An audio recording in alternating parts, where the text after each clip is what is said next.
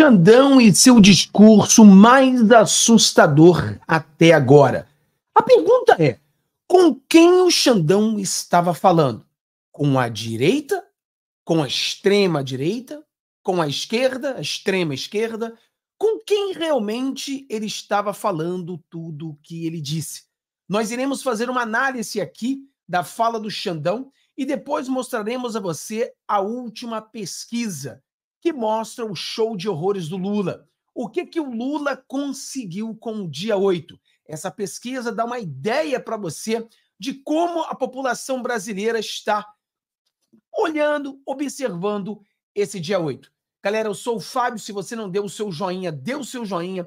Compartilhe esse vídeo com seus amigos. Joga lá no grupo do WhatsApp, Telegram. Vamos entender. Vai ter muita gente aí com muito medo, muita gente muito preocupada, porque o discurso foi tenebroso, mas nós precisamos saber como lidar com esse discurso e como falar com o esquerdista sobre esse discurso, como falar com o nosso familiar sobre este discurso. Então é isso que a gente vai fazer aqui agora. Então compartilha, não esqueça. Dê uma, dê uma olhada, pessoal, se você ainda está inscrito no canal, porque muitas vezes o YouTube tira as pessoas do canal. E às 15 horas voltaremos com a nossa live, aonde vamos responder suas perguntas. Claro, todo dia às 15 é a nossa live imperdível, são 6 da manhã e às 15 horas são os nossos dois horários. Então vamos direto, sem muito lero-lero, eu vou botar o vídeo, vamos parar e vamos debater o que o Xandão vem falando para a população brasileira. Falou ontem, né? Vamos lá, galera, vamos lá, vamos ver o que está acontecendo. Em especial com o uso da inteligência artificial. Peraí, vamos voltar aqui, peraí. Vamos lá. Também é o momento de olharmos para o futuro e reafirmarmos a urgente necessidade de neutralização de um dos grandes perigos modernos da democracia, a instrumentalização das redes sociais pelo novo populismo digital extremista. Pessoal, vamos entender logo de cara. Tá? Existe um problema nas redes sociais desses movimentos extremistas? Sim, existe, como sempre existiu e certamente sempre existirá. A pergunta aqui é a que não quer calar. Quem são os extremistas? Bom, no meu, no meu modo de pensar, extremismos foram os perfis que são apoiados pelo Lula e que também apoiam o Lula, que todos saíram do ar na semana passada porque fizeram uma tremenda uma cagada. Então, eu vejo a esquerda como o extremismos nas redes sociais. Por exemplo, nós temos grupo de WhatsApp, nós temos o nosso canal. Você nunca viu no nosso canal algo de extremo. Você nunca viu no nosso grupo de, de WhatsApp algo de extremo. Então, esse extremismo está aonde? Bom, com certeza ele existe. Você tem o pessoal da Ana Priscila, extremismo. Você tem o pessoal do PT, extremismo. Você tem o pessoal do PSOL, apoiador de Hamas, extremismo. Então, nós temos alguns extremos. Então, a gente tem que concordar que existe. Agora, como lidar com esse problema? Aí a gente tem que pensar. Vamos lá. A necessidade da edição de uma moderna regulamentação, como vem sendo discutido no mundo todo, no mundo todo democrático, e como recentemente aprovado na União Europeia, no Canadá, na Austrália. As recentes inovações em tecnologia de informação. Aqui eu gostaria até de fazer uma pergunta para o Alexandre de Moraes. Alexandre de Moraes, você citou exemplos de que na Europa, Canadá, Austrália, eles têm feito algum tipo de regulamentação nas redes sociais. A pergunta para o senhor é: isso foi feito no parlamento ou isso foi feito através da Suprema Corte do país? É uma pergunta, né? Porque como o Alexandre de Moraes ele está usando exemplos do Canadá, exemplos da Europa, eu gostaria de perguntar a ele se foi uma Suprema Corte Europeia que decidiu fazer isso ou se foi o Parlamento Europeu que decidiu fazer isso. Só uma pergunta, perguntar não ofende, né? E é, é interessante a gente entender isso aqui. Agora, uma grande verdade que eu falo para as pessoas e, e muitos não querem entender, eu quero falar para que você entenda. Preste atenção no que eu vou falar para você. As pessoas estão apavoradas com a PL da fake news que vai ou pode surgir qualquer momento, né? E eu explico, eu sou contra essa regulamentação. Eu sou contra. Tem vários jabutis. Mas eu tenho que explicar a você que isso já existe. A proibição, a censura, o cancelamento, isso já existe. A única diferença de uma PL agora do fake news é que estaria com o respaldo da lei, digamos assim. Mas a Suprema Corte brasileira nunca precisou de respaldo de lei para barrar conteúdos. Então é isso que às vezes eu olho e falo assim, mas poxa, é horrível, sim. Mas as pessoas não podem entrar no desespero e achar que se essa PL passar, ele já era, o Brasil acabou, a internet acabou. Não é assim, porque isso já existe, tá? Então preste atenção no que eu estou falando. Acesso universal às redes sociais, é com o agigantamento das plataformas, as big techs, amplificado em especial com o uso da inteligência artificial, essas recentes inovações potencializaram a desinformação premeditada e fraudulenta, amplificaram os discursos de ódio e antidemocráticos. A ausência de regulamentação e a inexistente os discursos de ódios e antidemocrático. Mais uma vez, o discurso de ódio, uma esquerda que apoia o Hamas, um grupo terrorista. Isso é um discurso de ódio. Uma esquerda, um presidente de esquerda que diz que na Venezuela é uma democracia relativa. Isso seria um discurso de ódio. Um presidente de esquerda que xinga os opositores. Isso seria um discurso de ódio? O que seria o discurso de ódio nesse caso? Então, eu vejo que existe discurso de ódio, né? E a gente precisa lembrar que eu não vejo o Alexandre de Moraes falar com você, o conservador. O conservador não faz discurso de ódio.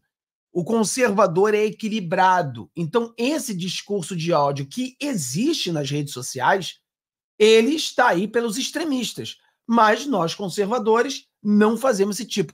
E a pergunta é: então, por que você tem alguns criminosos na rede social? Você vai punir todas as pessoas? Esse é o questionamento. Ou vai punir as pessoas que fazem um discurso de ódio? Isso que tem que ser colocado no, no, no negócio. Responsabilização das plataformas somadas à falta de transparência na utilização da inteligência artificial e dos algoritmos tornaram os usuários suscetíveis à demagogia e à manipulação política, possibilitando a livre atuação desse novo populismo digital extremista. E. Concordo mais uma vez, foi comprovado que o choquei os outros perfis de esquerda, perfis que seguem o Lula, perfis que o Lula segue e ajuda eles manipularam as informações. Manipularam, mentiram para o povo brasileiro e muitas pessoas foram manipuladas. Então, existe o extremismo que coloca muita mentira na rede social. Pessoal, a gente não nega, o conservador ele não diz que não existe mentira nas redes sociais, tá? Seria burrice uma pessoa hoje dizer não existe mentira na rede social. O que a gente mais vê é mentira. Você vai no nosso grupo do WhatsApp, nós lutamos contra a mentira. Qualquer pessoa coloca mentira, a gente tira, apaga e fala para as pessoas explica aquilo é mentira, não pode ser compartilhado. Se o Alexandre de Moraes realmente gostaria ou gostar ou quiser trabalhar contra a mentira, o nosso canal é o canal que mais trabalha contra a mentira que eu já vi no Brasil. É o nosso canal. A gente leva porrada todo dia porque a gente luta contra a mentira e fazemos tudo possível para que os nossos inscritos não caiam em mentiras e não falem mentiras ou, ou venha compartilhar mentiras, porque nós somos contra. Então existe a mentira. A diferença é que você não pode fechar redes sociais, fechar canais dizendo que está combatendo a mentira. A mentira, ela tem que ser combatida com a verdade. A mentira tem que ser combatida com mais informação. Então, essa é a diferença. Ele acredita, o Alexandre de Moraes, como um, um, um, um cara da, da, da, justiça que tem que prender todo mundo, que não tem negociação, que não tem conversa, que parece mais um ditador do que qualquer outra coisa, ele acredita que a maneira de você melhorar a situação é proibir todo mundo, é bloquear todo mundo, é censurar todo mundo. E nós, conservadores, acreditamos que a maneira de terminar com a mentira é fazer mais vídeos, ou seja, em vez de fazer menos vídeos, censurar o cara que mente, você faz mais vídeos mostrando a verdade. E a verdade vai prevalecer. É assim que a gente acredita. Então, mentira existe. O Alexandre de Moraes, nesse aspecto, ele está falando algumas verdades. E eu falei para você, quando ele fala de extremismo, quem são os extremistas? Sim, existem, não somos nós, mas existem. Quando ele fala de mentira, sim, há muita mentira. Quem é que está mentindo? Não somos nós, mas existe muita mentira. Todos os dias a gente combate a mentira. Vamos lá. Seus aspirantes a ditadores.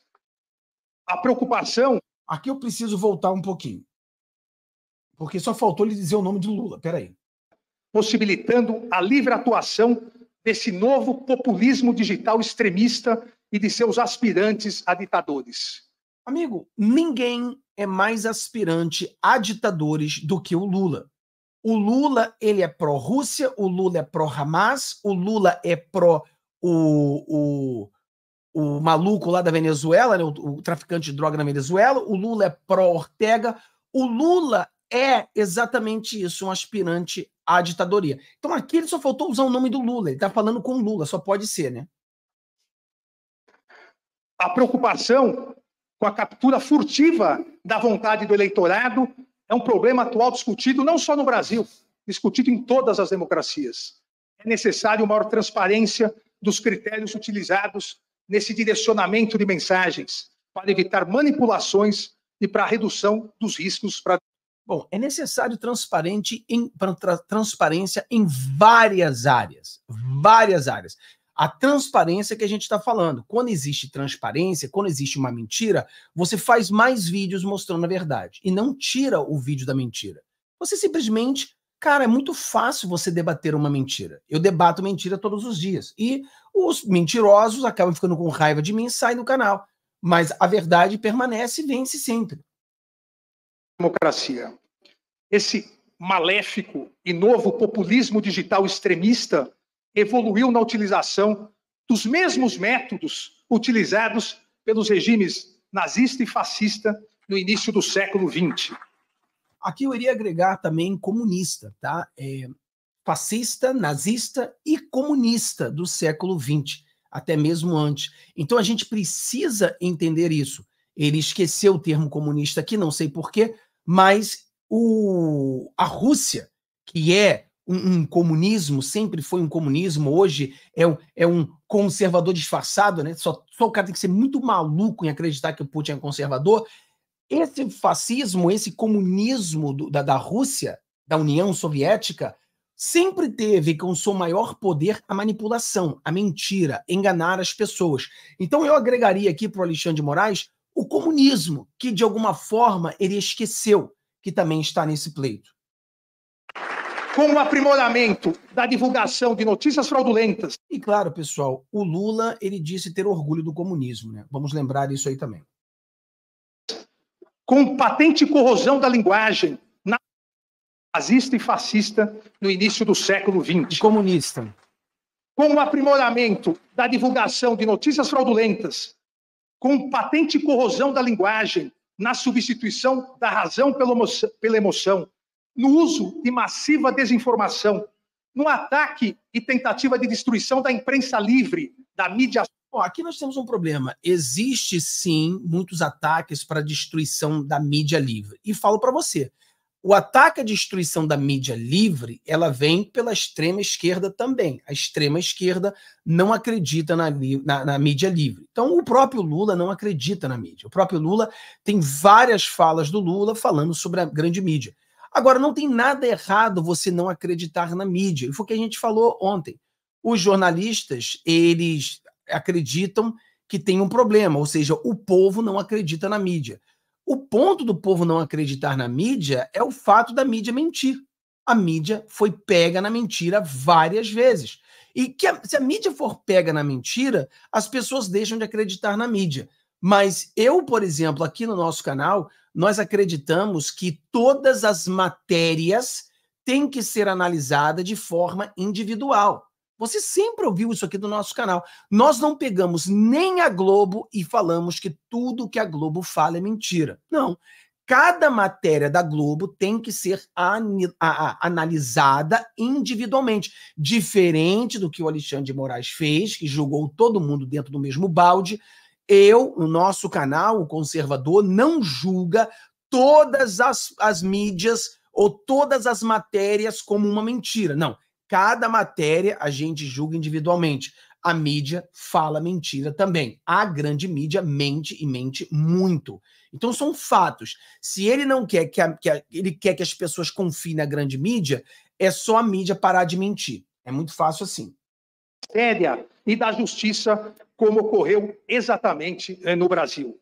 Por mais de uma década, essa instrumentalização foi realizada por esses extremistas digitais ligados a agentes políticos, sem que os democratas percebessem o potencial destrutivo existente nessas práticas. E, consequentemente, sem que houvesse a necessária regulamentação de conteúdo nas redes sociais, que já existe para todos os demais meios de comunicação. Não há razoabilidade em se manter, o que eu sempre repito, as redes sociais, as big techs, a internet como terra de ninguém.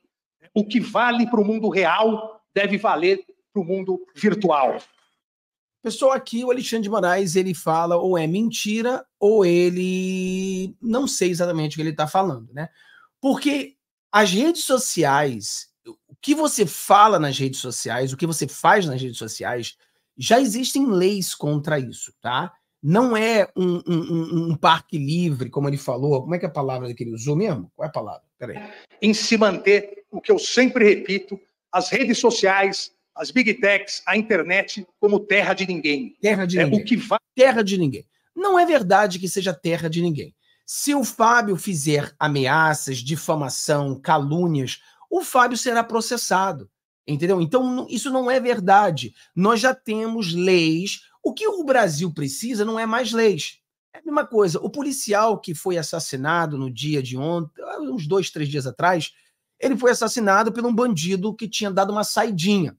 Então, você vê que a lei do Brasil, o problema, aquele bandido que tinha uma saidinha, ele deveria ter, estar preso. Mas o problema não é que não tem lei, o problema é que a lei não funciona. Por exemplo, o, o Alexandre de Moraes, ele, ele acha que o Monarca cometeu vários erros, e eu concordo com ele, tá? O Monarca cometeu vários erros e vários crimes. E ele foi banido das redes sociais. Ué, não é que as redes sociais é uma terra de ninguém? Então como é que o Monarca foi banido? Entendeu? O Choquei aí cometeu um, um, uma coisa muito grave e está sendo investigado. Vai ser julgado. Será se vai ser condenado? Ué, o Choquei tirou todas as suas matérias da, da, da, da mídia. Por quê? Porque a internet não é terra de ninguém. Não é terra de ninguém. Você pode pegar as pessoas que estão aqui me ameaçando, me xingando, eu posso processá-las uma por uma. Eu posso arrumar um advogado no Brasil, pegar essas pessoas, pegar os seus nomes e processá-las a todos. Eu posso fazer isso. Entendeu? Porque as pessoas estão te, estão te ameaçando, te estão ofendendo. E isso pode ser feito. Entendeu? Então não é que a internet é terra de ninguém. Eu acho que existe um exagero nessa fala, mas nós sabemos que quando a gente vai é, é, olhar, tem o extremismo. Tem sim pessoas que me ameaçam, tem sim pessoas que me xingam.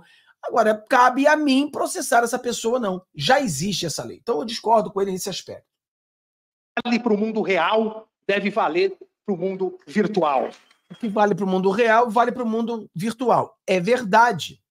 É verdade. Se eu, é, numa praça, eu difamar alguém, eu posso ser processado por difamação. Se eu na internet difamar alguém, eu também serei processado por difamação. São crimes feitos na internet, crimes feitos na rua, são o mesmo crime e você vai ser processado da mesma forma. Os novos, os novos populistas digitais extremistas, inimigos da democracia, inimigos do Estado de Direito, instrumentalizaram as redes sociais, como nós vimos aqui exatamente há um ano atrás.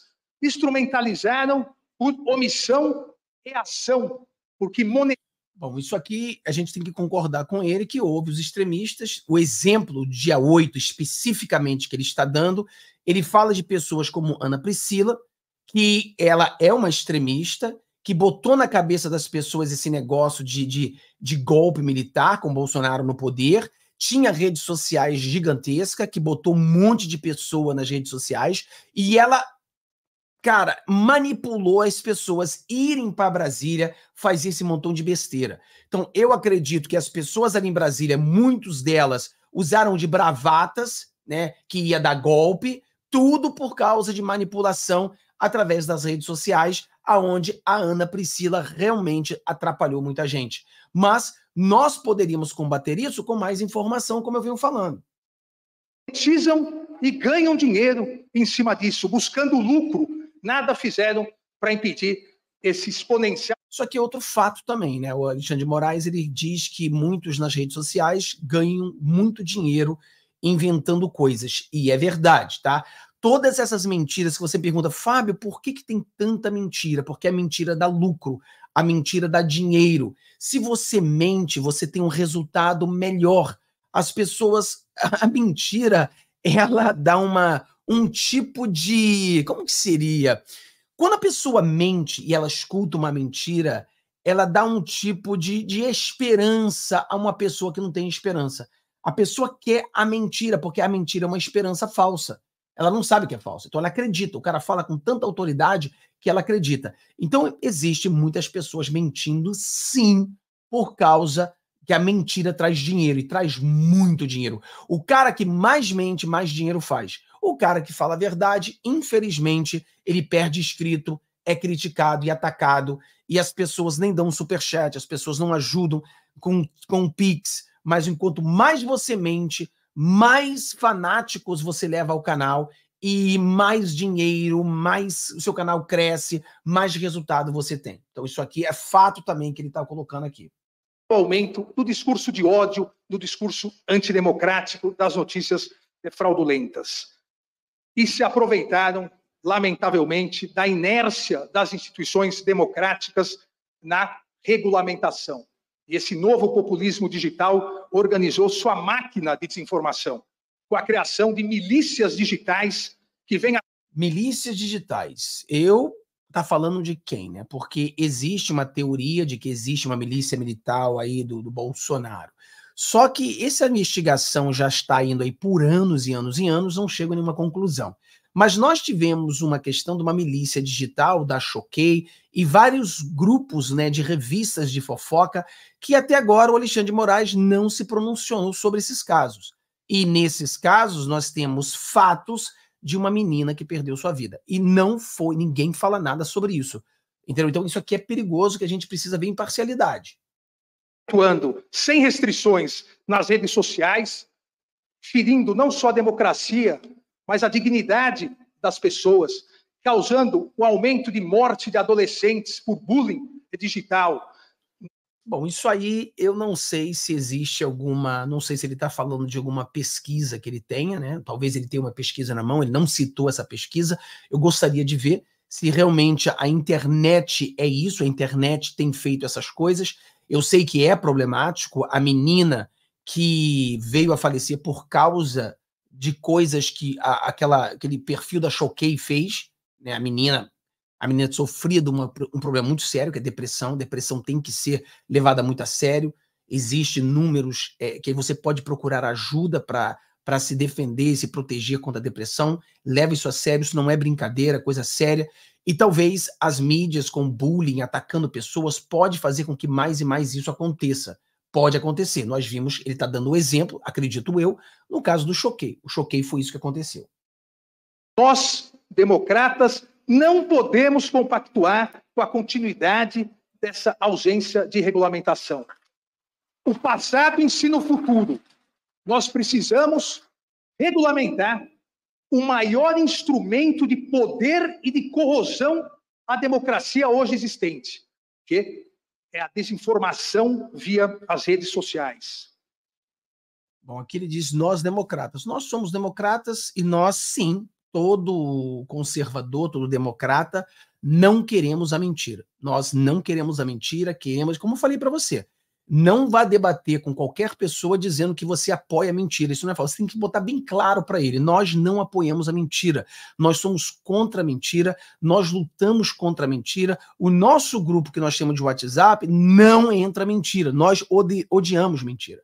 Só que a maneira de combater a mentira não é censurando todo mundo. Não é, essa forma não é, Porque essa forma de calar as pessoas, você cria a bolha e a mentira fica pior. Ela fica muito pior. Isso que as pessoas têm que entender. Não podemos ignorar o poder político das redes sociais como o mais novo e eficaz instrumento de comunicação de massa. Concordo, porque eu acredito que o Lula ganhou pelo um poder político nas redes sociais. Desinformação massiva pelas práticas desses grupos extremistas. Essa nova realidade exige a imediata regulamentação e a imediata interpretação por parte do Poder Judiciário de controle dessa desinformação. Repito, não só em defesa, mas principalmente em defesa da democracia do Estado de Direito, mas também em defesa da proteção da dignidade da pessoa humana, pois é preciso atentar para a circunstância que essas novas tecnologias são instrumentos que podem e vêm sendo manipulados por quem controla as plataformas digitais ou por quem é capaz, tecnológica, política ou economicamente, de instrumentalizar esses novos meios digitais de manipulação. Tenho absoluta certeza. Eu concordo com ele plenamente que existe muita manipulação. Eu concordo com ele que a manipulação nos Estados Unidos e no Brasil foi muito usada nas eleições em favor da esquerda. Esses sistemas, eles são muito poderosos e esses sistemas sempre tiveram na mão da esquerda. Você pode ver, por exemplo, hoje o, o, o X, que era o antigo Twitter, hoje na mão do Elon Musk. Antes, na mão da esquerda, era totalmente manipulado. Manipulava as eleições, manipulavam tudo. Então a manipulação existe. Que na defesa incansável da democracia, saberemos aprender as lições do passado, aplicando-as no presente e evitando que novas tentativas de golpe ocorram no futuro. Obrigado e viva a democracia. Bom, infelizmente, para todo o PT, tudo é golpe. Um amigo nosso falou no grupo do WhatsApp isso, né, lá no grupo do WhatsApp. Tudo para o PT é golpe. Por exemplo, quando Lula diz que a Dilma foi impeachmentada através de um golpe, isso não é um ataque à democracia? Então, o que acontece no Brasil, que o Alexandre de Moraes deveria fazer, era mostrar, ser imparcial, mostrar os dois lados. Mas ele nunca mostra isso. Se o Lula faz coisas totalmente antidemocráticas, ele se cala. Se um perfil da Choquei faz algo totalmente antidemocrático, ele se cala. Mas se fossem perfis de direita, ele usaria como exemplo. Esse é o problema. Agora, Fábio, o que aconteceu? O que aconteceu? Nós temos aqui algumas coisas que aconteceram que a gente precisa falar. Vou fazer o seguinte, pessoal, como o vídeo já está muito longo, temos que já passamos agora de 30 e poucos minutos, 27 minutos de vídeo. Então, o próximo, eu vou fazer agora um, um outro vídeo explicando para vocês o resultado da pesquisa, tá bom? A pesquisa de quantas pessoas acreditam no que o Lula está falando sobre a democracia, tá bom? Então, Deus abençoe a todos vocês. Vocês têm um dia maravilhoso. Lembrando que às 15 horas, venha participar, venha fazer sua pergunta. Nós temos às 15 horas, tá bom? Deus abençoe a todos. Tchau, tchau. Te vejo daqui